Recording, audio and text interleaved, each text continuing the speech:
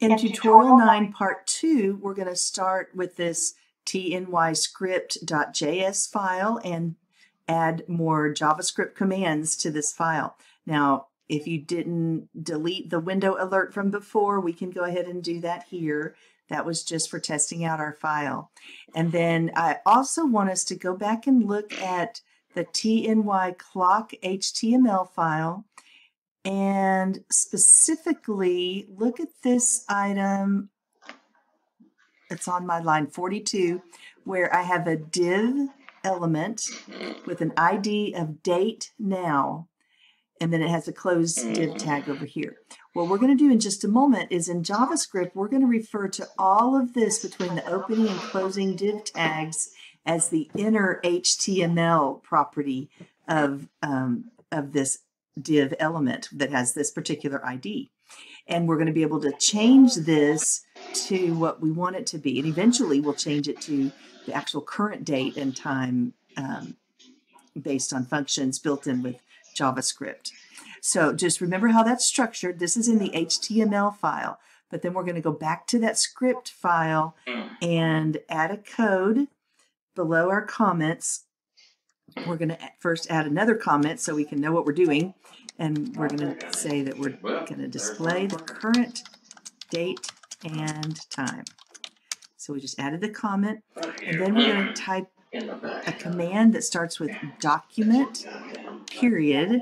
So this is saying we're going to start the document and then within the document we want to use this object called get element uh, by ID, and it has to be spelled correctly or it won't work.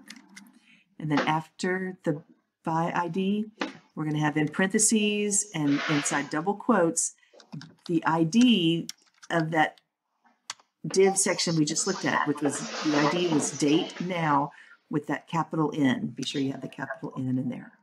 And then after the parentheses, we'll add a period inner HTML. You can see the property come up in the list.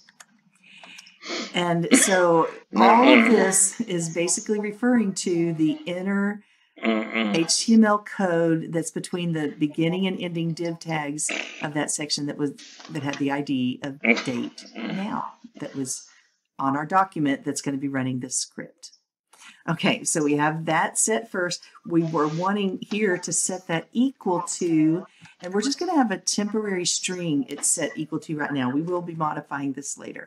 But we just want it to be set equal to m slash d slash y, and then um, a line break code in HTML, and then h colon m colon s. And then we have to end every JavaScript command with a semicolon.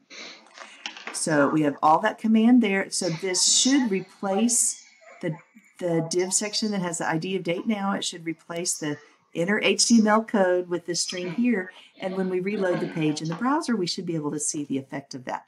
So I'm going to save the script, go back to my browser. And for now, I'm going to get rid of the developer tools um, with F12. And then we're, what we affected was this part up in the upper left corner that is currently showing an actual date and time, but we've just changed it to show it a placeholder text of MDY and HMS. So I'm going to reload and see if this right here changes. So I'm reloading and it does change right here. So that's all that we've done at the moment. Let's go back to our script file. And now we're going to add another comment that says what we're going to do, which now we're going to display the time left until New Year's Eve. And then after that comment, we're going to have four more commands. Document, get element by ID. And then we're going to use four different IDs that we saw in that original HTML file.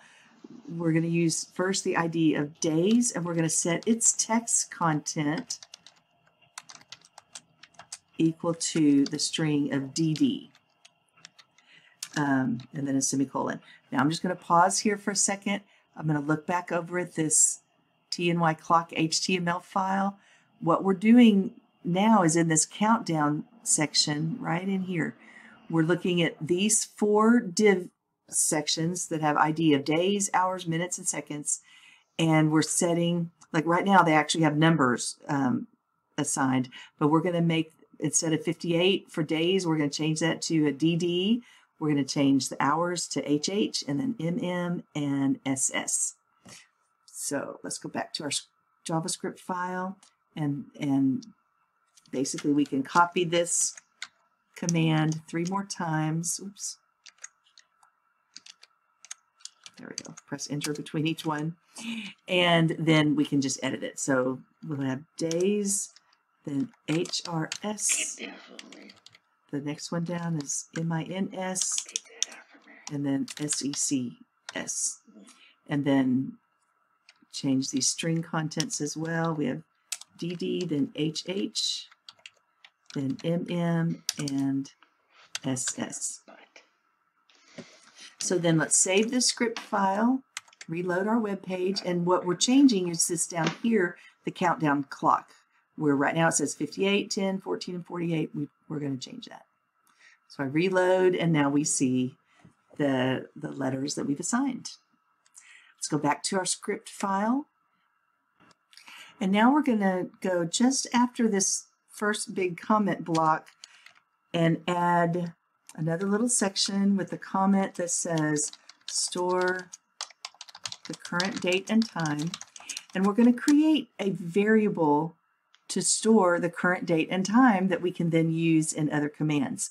And so a variable in JavaScript starts with var to, to let it know that we're about to declare a variable. And then we can give it any name we want as long as it has no spaces. And there are some naming rules your book goes over just a little bit.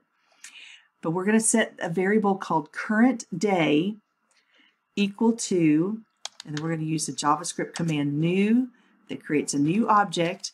And specifically, we want a new object that is a date type object. And so there's a built-in date object in JavaScript. And what we have to do is supply in parentheses and inside quotes the actual day and time that we want to set.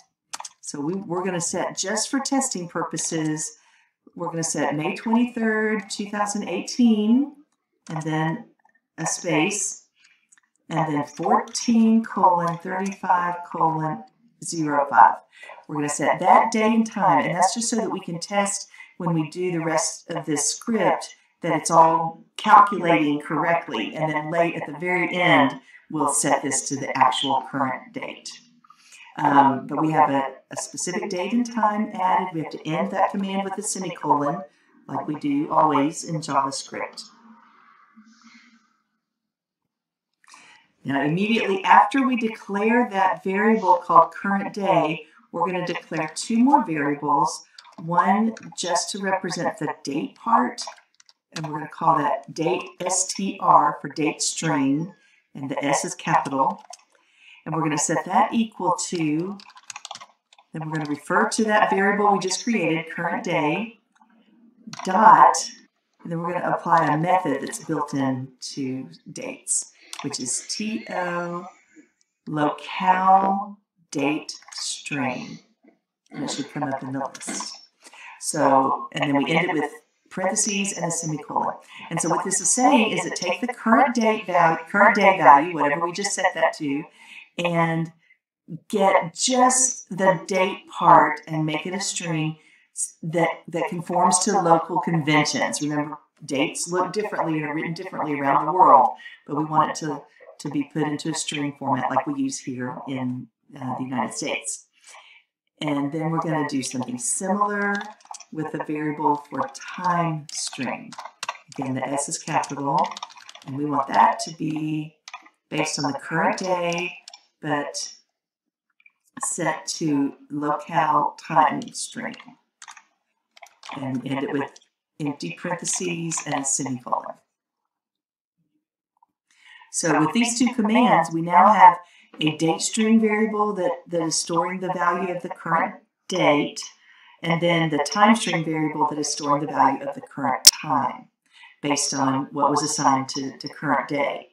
And now we're going to go down and where it has date now, we were uh, um, initially we were just using some placeholder text, but we're going to change this now to show instead of all of instead of the MDY part. Actually, let me just get rid of all that. Okay, so after the equal sign, we're going to use the date string variable because we want the date to be first. But then along with that, we want a string that consists of just the code for a line break in HTML. And so a string has to have the double quotes at the beginning and end. We have that around that line break HTML code. And then added to the end of that, we want the time string part. So we don't put quotes around the variable names. So date string and time string should be um, not have quotes around it, but we do put quotes around the part of the text that's just the HTML code. So all of this now should get assigned to the date um, or to the inner HTML that, that is part of that date now ID.